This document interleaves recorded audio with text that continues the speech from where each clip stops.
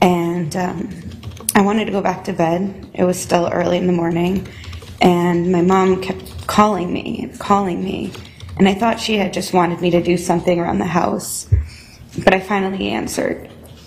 And when I did, she had told me that there was a shooting at Vicky's school.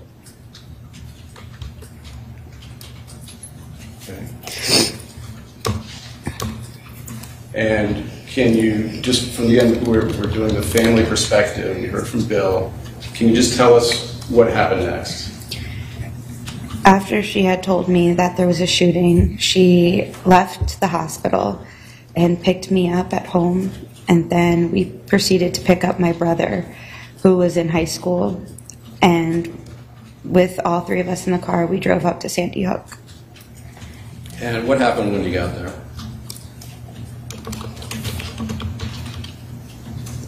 There were so many people running, holding their kids. Kids were crying. Oh, we, I had asked out the window if anyone had seen Mrs. Soto. And they said, no, Park can go up to the firehouse. And so we did. My mom parked the car and I ran. She told me just to run. And so I ran and she walked with my brother. And when I got to the firehouse, I started asking teachers that I was familiar with, that I knew, you know, where's Vicky? Where's Mrs. Soto? And they all just looked at me and they said they didn't know. They didn't know where she was.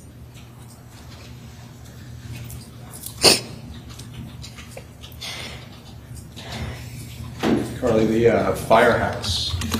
He's mentioned the firehouse, and I think that Bill Aldenberg mentioned the firehouse as well. What was what was going on at the firehouse? Everyone that was missing a loved one, we were all put in a firehouse in this back room, and we were asked to put our loved one's name on a piece of paper. And after that, a state trooper was issued to us, and we had to give our loved one's description. And because I didn't see her that day, I had asked the teacher, you know, what was Vicky wearing? And she had described Vicky had, you know, multiple shirts on with tank tops underneath, her high boots, and a green scarf. And I relayed that information to the state trooper. And I remember telling him, she looks just like me.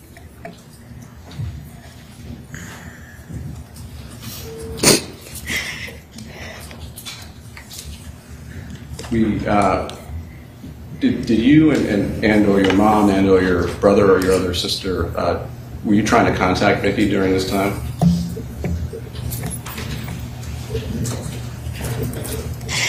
The whole way up to the school, I was texting her. And all I wanted to do was see those three little dots on the iPhone saying that she was replying. I called, leaving voicemails, just saying, Vicky, please just call us back. Just say that you're okay, that you're taking care of the kids.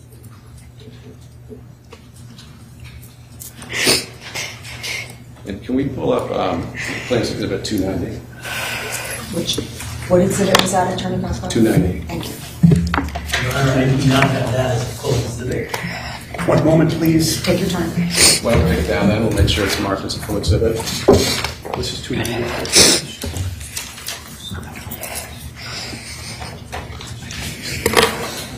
Objection, Judge. All right, so what do we, exhibit?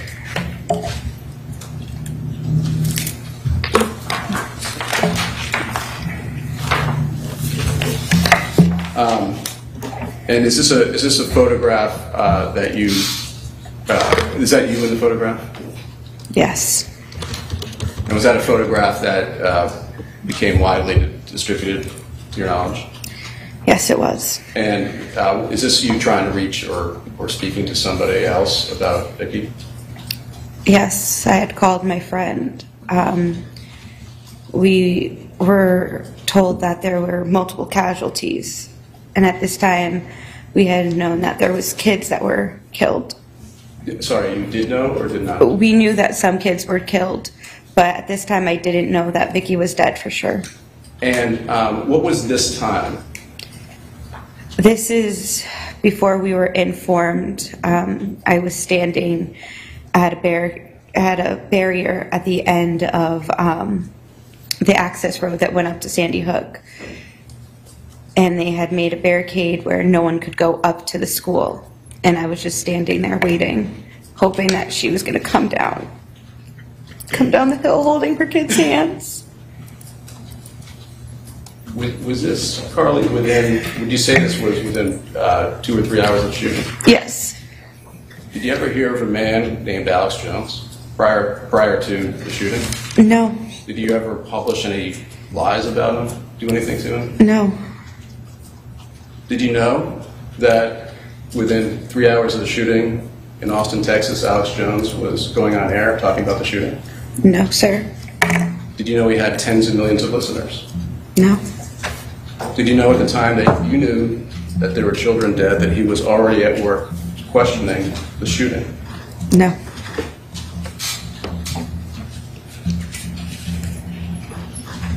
Was there anybody at the scene who was questioning the shooting? No. Everyone was just questioning where their loved one was. Did you see any frauds or imposters or actors on the scene? No. Were people taking it seriously? Objection. Sorry, objection. Calls for a conclusion, but states of mind. Did it appear to you that people were taking it seriously? Yes. You did Every, everyone was in tears. Everyone, everyone knew that something serious had happened. It was traumatic being in that firehouse. Did, um, did there come a time when you learned that your sister had, had died?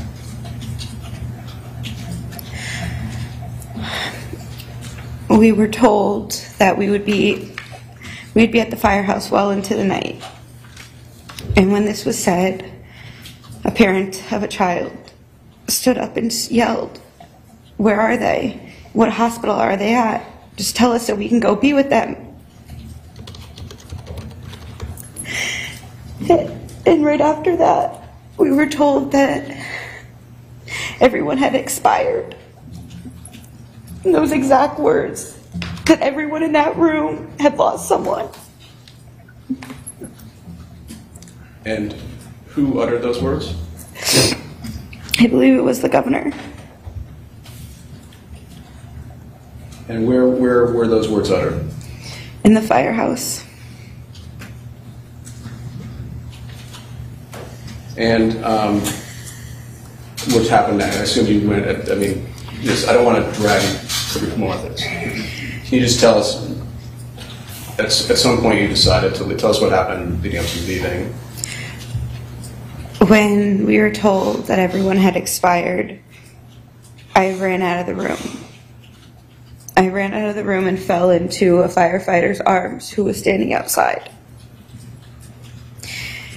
And my dad had came up behind me and he said, "We need to go. We need to go home. We, there's no reason for us to stay here anymore." And so we were all ushered into cop cars. Well, at least my family. I, I can't, I don't know what really happened with everyone else. And we were brought in cop cars and we were driven home. And I remember my mom in the back seat just calling people saying that she was dead. And it was the most bizarre thing that has ever happened to me because I couldn't believe my older sister, who's a teacher, was shot. How many, um, how many people would you say were on the scene? Hun- Were there hundreds or thousands or somewhere? I, I want to say hundreds. And um, did there come a time, uh, and your sister, uh, you, you, your sister's buried where? My sister's buried at Union Cemetery in Stratford. Now, did there come a time, uh, Carlee, where you became aware